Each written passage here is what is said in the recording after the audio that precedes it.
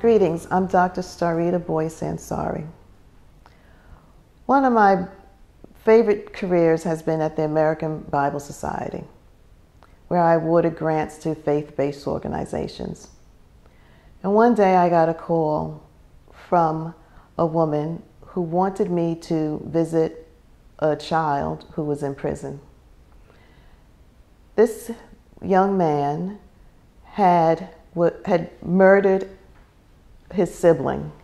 But the reason why he did that is that his mother was having ch- child after child after child. And he was not able to go to school, and he wanted to go to school. So when she brought home baby number eight, while he was bathing that child, he drowned the child. And the judge sentenced him to life.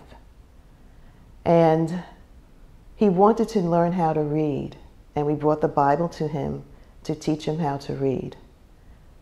As I started traveling across the United States, and I'm meeting with children who are incarcerated at a young age, I'm learning that the reason why they have been incarcerated is because no one took the time to make certain that they knew how to read.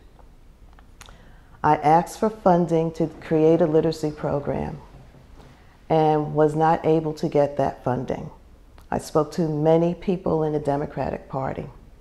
And one day, I had the opportunity to sit next to Barbara Bush at a dinner at Lincoln Center. I introduced myself to her and I told her some of the stories.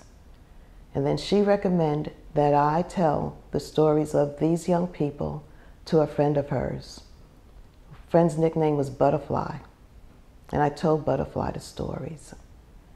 And Butterfly said that she would support the work that I was doing and that she was going to award us a gift of $2.5 million. And I waited until my work was done. And I was one of the few blacks at the American Bible Society. Two white men decided that they were going to visit Butterfly to get the $2.5 million. And she refused to give the check to them. And I didn't know they, they had visited her. And I was on business at a historically black college that day, and they had been calling me. So I finally picked up the phone after my meeting at the HBCU, and they wanted to know why I didn't pick up. And I told them I had a meeting. Butterfly wanted to speak to me. And after Butterfly spoke to me, she wrote the check for the $2.5 million. And that meant a lot to me. It was a message that I am doing the work and that a work of a black woman is valuable. And those two white men did not take the credit for the work that I have been doing. And I thank Barbara Bush for connecting us and her commitment to kids who are incarcerated.